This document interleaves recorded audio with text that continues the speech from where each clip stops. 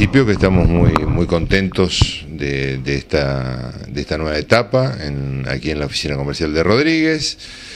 Eh, básicamente lo que ha ocurrido es un, se ha hecho un rediseño de la oficina, se ha prácticamente triplicado eh, los metros cuadrados destinados a la atención al público, se ha mejorado eh, digamos, todo el mobiliario en, razón de, digamos, de, mejoras en atención al público, más puestos de trabajo, básicamente es una, una mejora de atención comercial. ¿Eso implicó la, digamos, la presencia más personal también?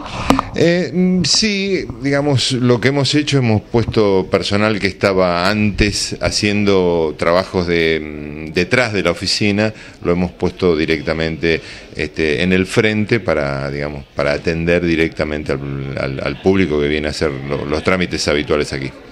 Debe ser una inversión importante para la empresa. A ver, en términos de inversión, sí, es importante, no es relevante en, digamos, en valores absolutos.